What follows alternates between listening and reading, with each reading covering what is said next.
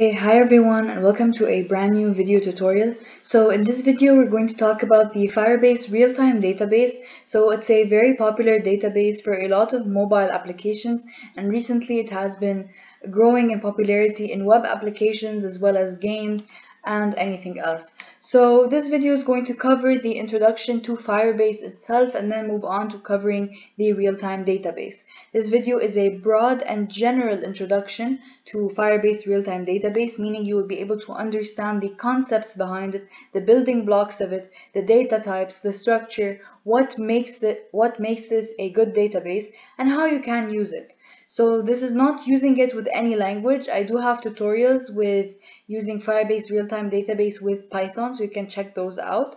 But this is just going to be in general about the database itself without any drivers. Alright, to get started, so what is Firebase?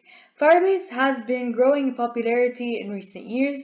It was actually developed in 2011 by Firebase Inc., but it was acquired by Google in 2014. Um, it's really popular in the mobile and web dev community. So the reason for that is that it's just it's just a very simple and straightforward service that you can use. It's technically a backend as a service that provides a series of uh, services and tools that you can use in your applications to help your application improve and grow and build upon what you already have. So it's really good because Using Firebase is very powerful because a lot of the things, the services it provides you with require very little code for you. So instead of having to build so many things in your backend from scratch, you would just have to refer to Firebase and then it would just perform a lot of things that are already built in. Now, what do I say? What do I mean when I say this? Like, what are the different services it provides? So there are a series of services. The first and the um, very popular one is the analytics one. So this is kind of related to Google Analytics. So you would use this to be able to grow your app. You would use all sorts of data analysis and data science tools that it provides you to make recommendations, to test for your users, to have um, a series of things that would enable you to better understand the activity on your application, to better understand what makes your application fail. So in case that your application crashes a lot. You could have bug reports as well. You could have reports from your users when they're active, what do they do, how active they are. So there's a lot of information you can gather using this. You also have a wide variety of features that you can benefit from and use in your application. The first is actually the authentication feature. So authentication is for user management. So this is what you would use to sign in with email and password and create an account with email and password. But you could also sign in with Google, sign in with Facebook, sign in with GitHub. So this is, you'd be using your different um, credentials from these different websites, these different um, you could say services that we have on the internet and you could use those to sign into your application and Firebase is sort of the gateway to that and that's that's what it helps you do um, using the authentication feature alright so I have a tutorial on using the authentication feature with Python actually so you can check that out if you're interested Alright, moving on. We also have cloud storage. So most applications or startups nowadays have as have some sort of media files on their applications. So we would have images, we would have videos, we would have um, all sorts of things. And for you to have to store them somewhere, you need to store them on the cloud for your users to be able to access them. And that's what we have cloud storage for. So cloud storage was initially a Google product. However, it merges with Firebase and provides the Firebase cloud storage. And you can use the storage to store, store documents, photos, videos, anything your user is uploading or viewing from your application, you can store it there and that media would sort of um, be directly available. You could also use authentication combined with storage to enable your users, your application to keep track of which user has uploaded which photos. So the way Instagram knows that these photos are yours because you uploaded them. So these photos are, are associated with user X. Alright, now another thing we have are the real-time database and the cloud Firestore. So Firebase actually provides two different database types. Cloud Firestore was originally a Google thing, but also merged with Firebase upon acquiring the company. Real-time database used to be the actual Firebase database, but now it's called real-time database. So both of them actually do work in real time, meaning they're always syncing across devices for any changes, so you wouldn't have to um, refresh to be able to see any changes, you would just see it in real time. And they're both hosted on the cloud and they're both NoSQL databases. If you want more information on NoSQL databases, I have a video explaining those in five minutes and you can check that out as well. So these are some of the services that Firebase provides. Now let's just go ahead and check out Firebase actually on its website and understand more things. So this is console.firebase.google.com. So this is where you would go to check out your Firebase projects and to be able to access the Firebase itself. So I'm signed into my Google account, which is my account for this channel. And this is what you have to do to be able to use Firebase. So you need a Google account, the same way you do for any other service. Now, these are some demo Firebase projects, some sample projects that I can access. So I'm just going to access this one. You could also create a project. You could also um, view an old one. So it depends on what you want to do with your work. Now let's just go to this one. So Firebase Real-Time DB demo. So I was using this project actually for a series of tutorials on the Firebase real-time database with Python, with Pyrebase. So you can check that out as well if you're a Python programmer and you're interested. So this is the dashboard that you have. This is your project overview. It has all the sort of data that you need for your project as well as all the features that you need to develop your project. Now, here you can have some sort of um, statistics that keep track of the downloads and uh, uploads to your database and to your storage at the same time. So you could use those to keep track of how much data is being pushed into your database the whole time and what you can do about it. So here you have the authentication. So we discussed what authentication is and the different features it provides you with. You have Cloud Firestore, which is another um, real-time cloud-hosted NoSQL database that Firebase provides, and but it's not the real-time database, so it just has a different name and it different features. Alright, so then you can have your analytics here. So you have performance and crash analytics, meaning you want to be able to report, you have your users report the bugs to you so you can go ahead and fix them in your code and all sorts of features. You can have cloud messaging, so this is used for using push notifications. So if you want to notify people using your application, you would use cloud messaging to send them a push notification. Um, a-B testing, as well as a series of other things. So you can always add extensions as well. So you can have shorter URLs, you can have translating text, you have resizing images. So you can just add a, a huge number of things. So the good thing about companies like Google is that they cover a wide variety of subjects, meaning most of the time if you need something, there will be an extension or something related to what you need. Alright, so now we're in our tutorial, we're actually going to go deeper into the Firebase real-time database. So let's just actually go there. And in another video, we can discuss the others. So let's just go to database.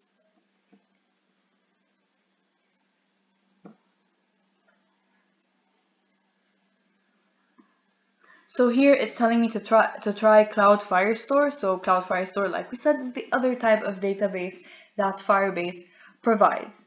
So this is the um, database. This is the real-time database. It's sort of a hierarchical format, so I'm just going to expand the data, and this is what we have. So this is some sample data for a bunch of people or users, and here's how the data works. So now we're going to talk about the data and the data types that we have and how we can add and remove data. All right. So let's just get started. So it's a hierarchical database. So if you're familiar with JSON, this will be a breeze for you because essentially Firebase is document oriented, meaning the the data is stored within documents and these documents follow the sort of JSON format that we know. I have a video on JSON, you can check that out. Alright, so here's what we have. We have the, uh, this is the database, so it's the root node. The root node will always be the name of your database, of your project. Alright, then I have a child node for it and that's users. And within users, I have a series of all the users. So if I'm just going to collapse the data and open this up, so as we can see, these are the user IDs. So these are different JSON objects within users that, and each object from these, so we have uh, six objects, each object represents one user. And if you open it up, the values within this object are a series of key value pairs that define the um, that define the um, user itself and provide data and details about this user. Alright, so this is kind of what we have. You can also change the way you have a layout. So let's just, we can do this manually now. So no coding required. So here I can say uh, name and then say John. And then I can add it. So now I have two child nodes for my root uh, DB. So instead of having one parent node that's hierarchical here, I just got a key value pair. So this is also an object. I can also have another hierarchical format. So I'm just going to say hierarchy and then add, um, oops, okay, so I'm just going to say hierarchy and not add. I'm going to use the plus. This always annoys me about the um, graphical user interface here because I always tend to go for add.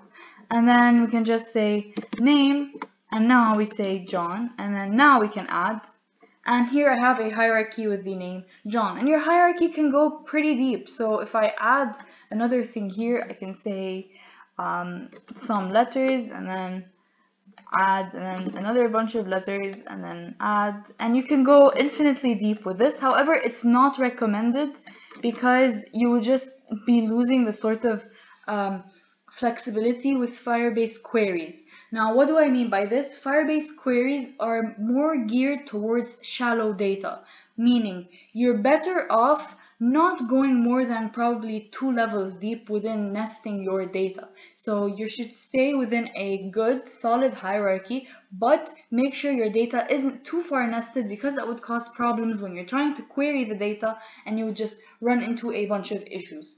So just keep that in mind. So this is sort of the structure that we have. We know that this is a NoSQL database, meaning the data points do not have to match each other. So let me just delete this hierarchy and just forget it was ever there. And I'm going to delete this as well. So let's just go to users and see what I'm talking about. So I'm just going to expand. So as we can see, this user has address, age, first name, and last name, and a bunch of other users have the same. However, this user, so Mark Johnson, does not have an address. Why is that?